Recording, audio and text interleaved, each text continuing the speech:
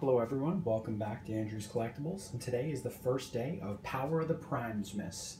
So kind of like the 12 days of Christmas, we're going to do the 10 days of the Power of the Primesmas. I went out today and was lucky enough to find the whole entire Power of the Primes Wave 1 Legends to Voyager class line, and I'm going to do a review of each of the uh, robots I picked up, starting with um, the Legends class figures, ending up in 10 days with the Voyager class Starscream or Grimlock. Haven't decided which one I'm going to finish with. I'm thinking Starscream, but maybe Grimlock. Starting off, we're going to go with Skrapnel, aka Shrapnel from the Legends class line, the Insecticon.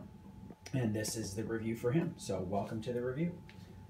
Here we go. This is his box art. As you can see in the background, you've got all the symbols of the power of the primes. And he's got his Decepticon insignia on his chest, and it's it's obviously a nice box art. I like the Titans Return slash Power of the Primes box art. On the back, he's got 10 steps of transformation, and it's got all the good details on there. So, not too much to cover. It's not as uh, detailed as the uh, Voyager class lines and stuff like that. It's got his instructions here, and then it's got his card. So the cards are really nice. They're one of the nicest parts about this line. Um, he's a, he's an alchemist so Skrapnel can travel through electrical pathways. Now he doesn't come with any weapons. I guess the his things that are on the top of his head, I can't remember for the life of me what they're called. Those are supposed to be his weapons, his energy weapons, or what you would call them. So this is the figure itself. And I've heard some people complain that the figure itself doesn't have um, the greatest plastic used in the molds, and I don't see anything wrong with it. I've reviewed some Robots in Disguise lines, and I didn't like them as much as I do like the uh, Power of the Primes Titans Return lines. It's just a little bit thicker, more dense, and the ball joints are more rounded so that the arms and legs don't pop out as quickly. So, and there's less of these small tabs. Um, I'll try and find them on here where they clip in that break off. There's not as many. So, starting with the transformation mode, the he comes out of the package just like this. The first thing you're going to want to do is pull his chest piece up.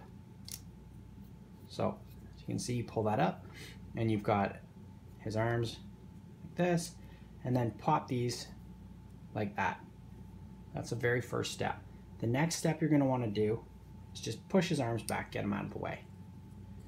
The next step is take these two sets of legs, pop them up like that, and you're halfway there, halfway to the completed figure.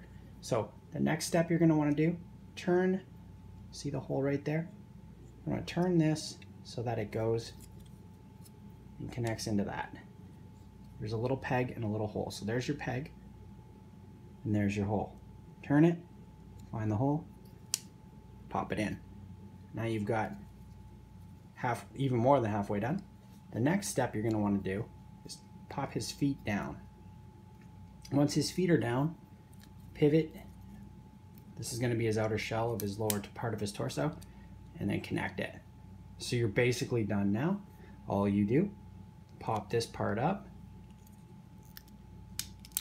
and there's a little joint here that you just unconnect, sorry, and then pop it in like that. Not really a connector point per se, it just kind of rests, and then you've got it like this and that is him in his insect mode. Now comment in the comments, what insect is that? Because I can't remember for what it is offhand, and uh, some sort of beetle, I know that, um, but what beetle is it? And what do you think of the Insecticons? How does he compare with the G1 variant? And uh, what do you think of the figure all in all? And for the first day of the Power of the Primesmas to review this figure, I think it's a great figure. Um, I think it stands up well with its G1 version. I wish it was called shrapnel, but what are you to do? Skrapnel kind of works too. Um, for next, tomorrow, day two, we're to review Beachcomber. Then we're to go through Slash, Windcharger, and then start with Jazz and some of the Dinobots as well, following through that. Hope you enjoyed the video. Happy first day of Power of the Primesmas.